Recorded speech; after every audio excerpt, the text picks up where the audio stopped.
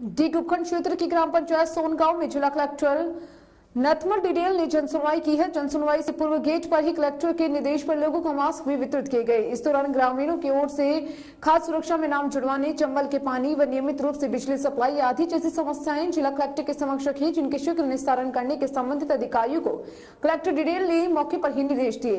वहीं उन्होंने बताया की खाद्य सुरक्षा के जिन लाभार्थियों की पिछले दिनों मृत्यु हो चुकी है, उनके नाम डिलीट कर नए नाम जोड़ने की प्रक्रिया संभव हो सकेगी, जिसके लिए सरकार द्वारा 69 प्रतिशत शहरी व 53 प्रतिशत ग्रामीण क्षेत्रों में नाम जोड़ने के मापदंड तय किए गए हैं। इस दौरान जिला कलेक्टर ने सरकार की जन कल्याणकारी योजनाओं को संवेदनशीलता के साथ लागू करने के लिए भी संबंधित विभागों के अधिकारियों को तत्काल निर्देश प्रदान किए। साथ ही कलेक्टर डिडेल ने गाँव सिंसनी में आरओ प्लांट व प्राथमिक स्वास्थ्य केंद्र का निरीक्षण किया और स्वास्थ्य कर्मियों को सफ़ाई रखने के अधिकारियों को तत्काल निर्देश दिए गए। इस मौके पर गाँव के सरपंच, ग्रामीण व संबंधित विभागों के अधिकारी कर्मचारी मौजूद रहे।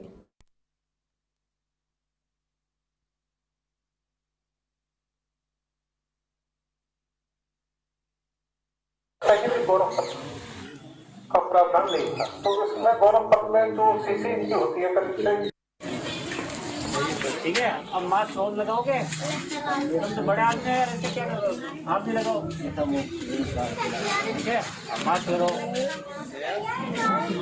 ठीक है बिना मास्क के नहीं घूमना बिल्कुल। अभी आगे समझदार आदमी आप तो बाकी लोगों को बताओगे इनको कि मास्क लगाना चाहिए। हैं? ठीक